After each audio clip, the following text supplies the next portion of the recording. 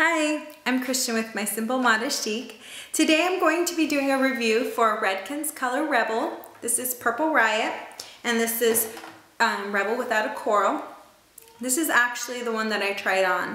Um, I don't know how well it's going to come out, but it's on my hair on the tips. It came out to be like a little bit burgundy on my black hair, and it has some gold and coral undertones, which make it really fun and pretty. I really liked the way that it turned out. And it was really easy to apply, which is a bonus. All I did was laid my hair flat on the table with some paper towels underneath, and then I put the sponge applicator on top, and I shook the bottle and then just dabbed it on. It really only took about three minutes to apply, and yeah, I really like it.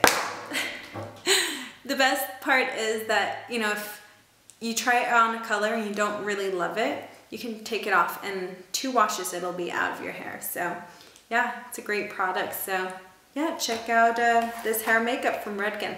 Thanks. Bye-bye.